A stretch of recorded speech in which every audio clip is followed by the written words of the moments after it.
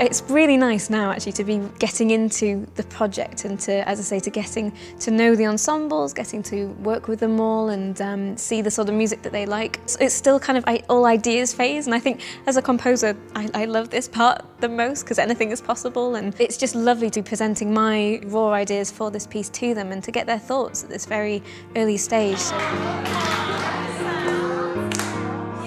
Convo as a piece and as a project is all about celebrating and exploring how music has always been, and I think always will be, an incredible and universal means of communication. There's been a huge revolution in communication in their lifetime, and I wonder what role music plays in that. So I felt like that was just such a lovely premise for a piece of music for you know this wonderful uh, mass ensemble of the younger generation to really get into and get involved into and see where they take it.